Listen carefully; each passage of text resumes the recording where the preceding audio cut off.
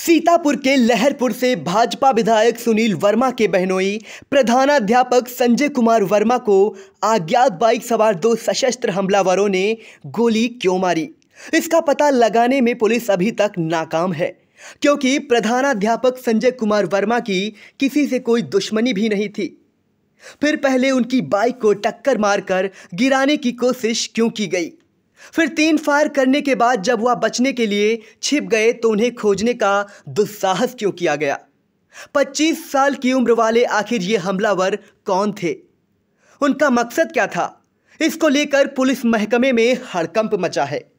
घटना की सूचना पाते ही तत्काल पुलिस अधीक्षक RP Singh, SDM Pyarelal Maurya, police क्षेत्राधिकारी यादवेंद्र यादव, लहरपुर कोतवाली प्रभारी मनीष कुमार सिंह, तालगांव कोतवाली प्रभारी सत्येंद्र राय भारी पुलिस बल के साथ मौके पर पहुँच गए।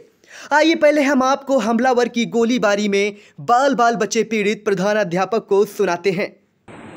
न्यामोपुर से पेपरमेंट पे आ रहे थे। वहाँ पे लेबर को हमने छोड़ा। इसके बाद फिर वापस घर आ रहे थे अकेले। फिर? फिर वही रास्ते तीन सौ टंकी से मात्र तीन सौ मीटर पे उधर से एक बाइक आई। बस हमने भी ब्रेक लगाया हल्का। और बस वो आकर के तुरंत पूछा कुछ नहीं हमसे। सामने से बस सामने से बिस्मा रोड तरफ़ से। और बस फायर ही मार दी। पीछे वाले व्यक्ति ने पीछे वाले व्यक्ति फिर क्या हुआ? अब फिर हम भागने की कोशिश करें। तो थोड़ा बाइक साइड से लेकर के आगे से बढ़े वैसे फिर दूसरी जब की तो हमारी बाइक गिर गई। और फिर हम खेतों में निकल गए भाग के झाड़ी में। फिर एक उसने की। बस हम वही झाड़ी में भागते रहे और किसी तरह से गिरते पड़ते सब तार वार लगे तो धूड़ा भी तो बता दो धूड़े हाँ? दो धूड़े है ना प्लस हाँ हाँ अं- मतलब वो प्लस जगह के अंदर भी आए थे थोड़ा। वो कुछ बोल रहे थे? कोई चीज़ बोली उन्होंने? नहीं नहीं बोला वाला कुछ नहीं था। वही मतलब बस फायरे मारा बाकी अब हमको उतना ध्यान नहीं गया है कि हम तो भागना बोला होगा तो हम तो भैया भैया करते रहे हम उनकी आवाज़ सुन ही नहीं पाए। लेकिन इनका कहना है अगर सामने वो आएगी तो हम पहचान सकते हैं। कितनी उम्र रहेगी लगभग उन लोग की? एक की तो पच्चीस रही होगी अगले पीछे जिसने फायर मारा था शायद सत्ताईस वो थोड़ा पहले वाले से थोड़ा तंदुरुस्त क्या कपड़ा पहने थे वो लोग? शर्ट पहने थे। Shirt pant? हाँ शर्ट पहने। आगे वाला आगे वाला? आगे वाला शर्ट मास्क शर्ट मुड़ी था? हम्म?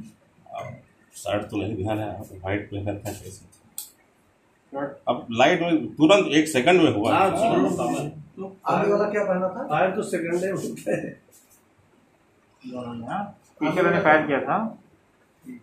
वो थोड़ा उठ के फायर किया था मतलब उस पे मतलब थोड़ा हाँ उस पे बाइक- चलते चलते मतलब बाइक किस टाइप की थी? बाइक तो नहीं ध्यान नहीं कैसे इतना समझने का मौका नहीं मिला। अपना बाइक का नंबर पता है? नहीं पता। आप गया होगा हाँ। आपकी नहीं बाइक हमारे बैग अपनी बाइक नहीं है नंबर है? ही नहीं हाँ बताओ? हाँ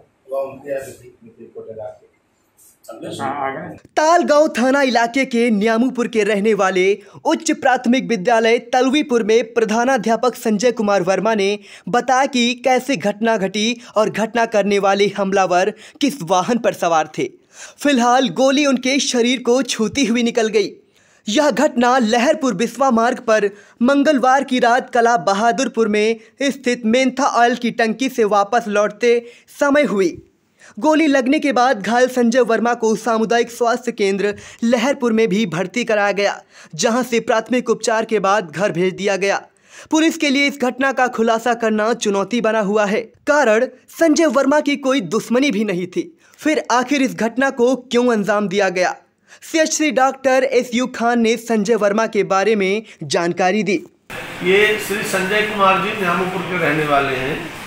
ये अपने जो है जो उसकी टंकी इनकी है कहीं इसकी जो है मेंथा ऑयल की वहाँ पर ये आए थे और वहाँ पर लेबर को छोड़ के घर जा रहे थे। उन्हीं रास्ते में इनको जो है दोनों मोटरसाइकिल से जा रहे थे और सामने से मोटरसाइकिल से दो लोग आए उन लोगों ने इन पर फायर कर दिया। और फिर ये बेचारे भागे आगे खेत में खेते खेत भाग करके कहीं गए तो कुछ जगह तार वार बीच से भी इनको चोट लग गई। इनके दाहिने हाथ में लगता है जैसे गोली रगड़ करके निकल गई है। कुछ थोड़ी सी इंजरी हुई है थोड़ा सा वहाँ पर कटोई हो गई है। उसी का हमने अपने लेवल पे इलाज कर दिया है और जो है पेशेंट अब स्टेबल लग रहा है। जहाँ जो है चोट लगी है उसका एक्सरे भी एडवाइस कर दिया है। बस बाकी मरीज़ तो ठीक है ठीक है अभी अपने घर चला गया कल एक्सरे कराने सीतापुर जाएगा। ठीक ठीक।